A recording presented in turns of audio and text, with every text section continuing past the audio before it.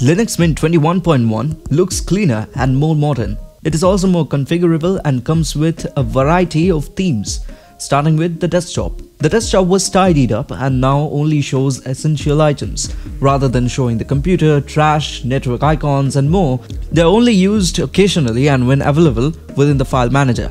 These changes only affect the defaults. If you want these icons on your desktop, you can definitely uh, go back to preferences and enable them easily. Just open settings, click on desktop, search for it and toggle these options and it will just show up fine. What does show on the desktop are the devices that are connected, that is the mounted devices and also the files that you keep in the uh, home slash desktop directory. So if you drop a file in the desktop, it will also appear in the home slash uh, desktop directory. The home folder was already easily accessible so it has been removed from the desktop. It is now pinned in the panel and can be opened from the main menu or by pressing the super plus E on the keyboard. Let us now talk about colors. The accent colors are way more vibrant than before. They lift up the mood and make Linux Mint more trendy and beautiful. Here is a comparison. While the new colors are cool, the old themes are also available under Legacy in case you want them. The way Linux Mint looked back in 20.2 is now named as Mint Y Legacy and is available as an alternative in the theme options. The vibrant accent colors have less influence now. In past, their themes used soft colors, but these colors were featured in many widgets and desktop elements. You could see a lot of green, but that green was muted. They removed the use of accent colors on the panels in the menus and they switched to yellow folders. The accent color is still visible on the folders as a small strip.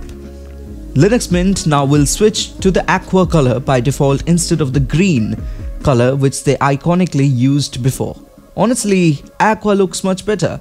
To give users more choice, Linux Mint 21.1 features alternative icon themes also. In addition to Mint X, Mint Y and Mint Legacy icons themes, the following themes are also installed by default. That is Breeze, Papirus, Numix and Yaru. The spotlight on the mouse. Linux Mint 21.1 switched to Bibata mouse pointer theme from Abdul Qais Khatri.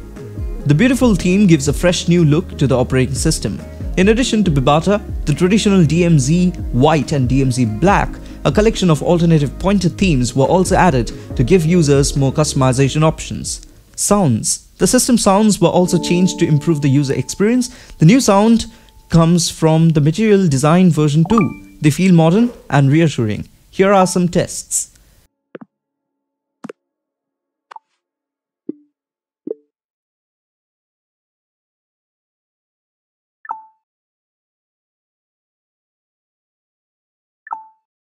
The driver manager has received many improvements. Firstly, the user interface. The manager now runs in user mode, so you no longer need to enter the password to launch it.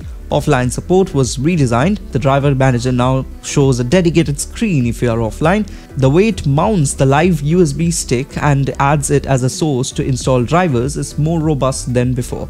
These improvements make installing Broadcom wireless drivers easier than before.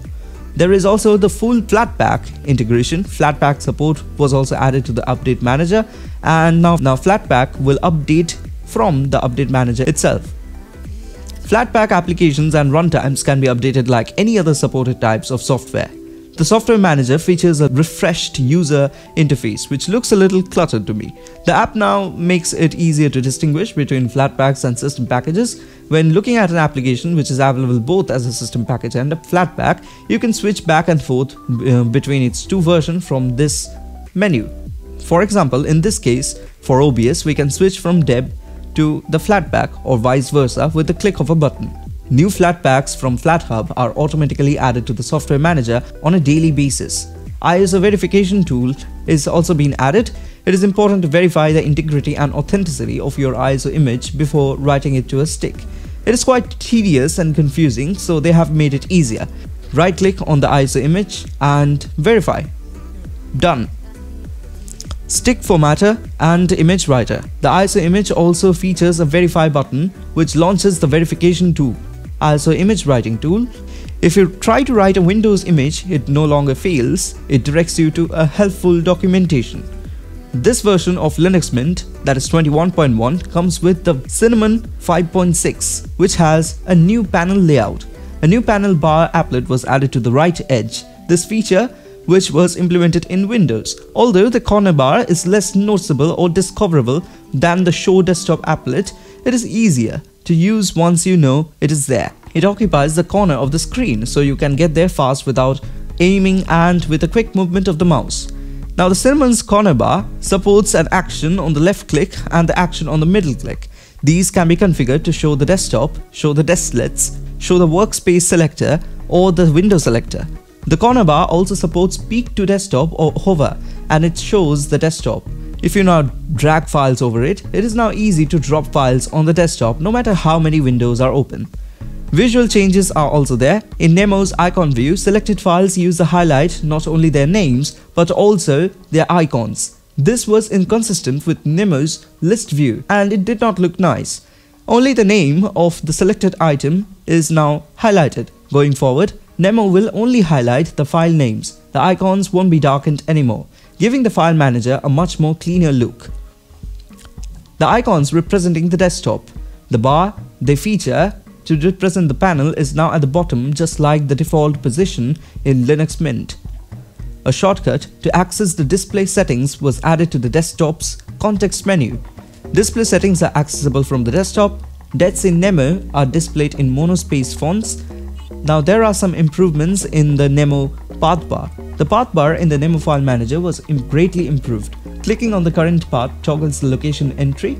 Navigating to a different folder brings back the path bar. The code which lets you remove the application from the main menu was reviewed and the password prompts were removed in situation where administrative permissions are not required.